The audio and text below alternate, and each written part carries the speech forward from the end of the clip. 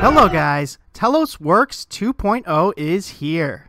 All funding to the previous worker proposal system on Telos has ceased and all new worker proposals will now go through Works 2.0.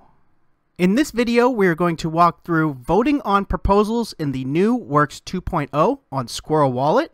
SQRL Wallet version 1.2.1 introduces Works 2.0 functionality. So if you are not on this version or a more recent version of SQRL Wallet, you will need to upgrade.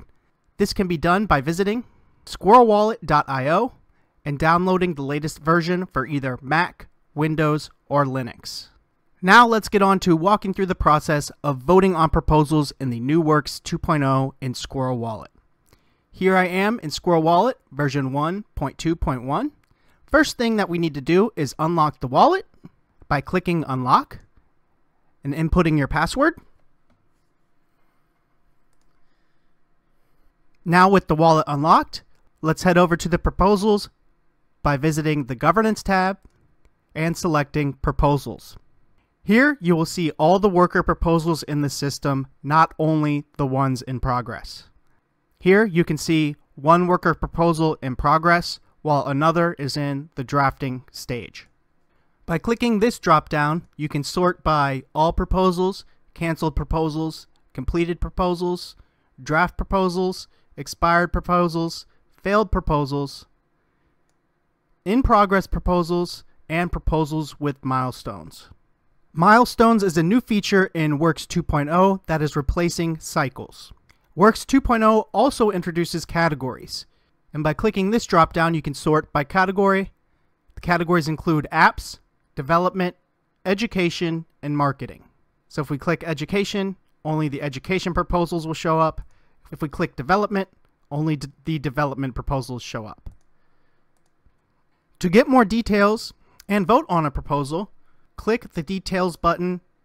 Here you will see the category of the proposal, the number of milestones, the voting period, the status, total requested, total remaining, submission fee, total votes, and number of voters, as well as a link to the actual proposal document. And below this, you have your yes, no, and abstain buttons to place your vote as well as a breakdown of the milestones. Currently at milestone number one in the voting stage. A pie chart breakdown of current votes on this proposal 75% voting abstain, 25% voting yes, and a breakdown of the actual voters with their account name, their vote, and their vote weight. To place your vote, Simply click the direction you would like to vote, yes, no, or abstain, and confirm your vote. Voting yes for milestone 1 of the Works 2.0 tutorials on SQRL demo proposal. Once you vote on a proposal, you will see the direction you have voted underneath the title and description of the proposal. You will only see this cancel button for proposals you submit. The account I am using for this tutorial, Squirrel Tutorial,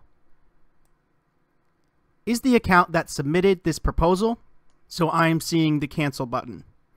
If you'd like to see the process of submitting a proposal on the new Works 2.0 in SQRL Wallet, check out the link below. For proposals you have already voted on, you will see a green check mark if you voted yes, a red X if you voted no, and a yellow dash if you voted abstain. So there you have it. There's a breakdown of what the latest SQRL Wallet release has to offer with the new Telos Works 2.0 system. If you have any questions or issues, head over to the Telos or SQRL Wallet Telegram groups. That's it for this one, guys. I'll see you in the next one.